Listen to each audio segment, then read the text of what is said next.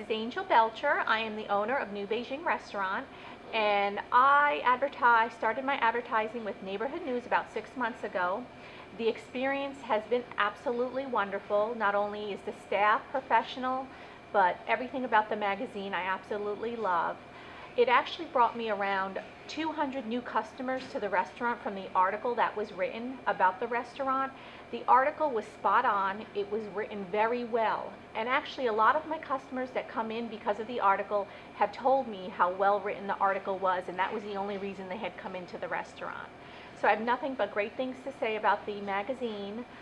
It's a great magazine, especially in the area where I wanted new business to flow in, the Carrollwood area. So when I advertised in there, I got the customers that I needed, and it's just been a, an absolutely wonderful experience. Thank you. You're welcome. That's plenty. Okay, good. Okay, that, the other one. Okay.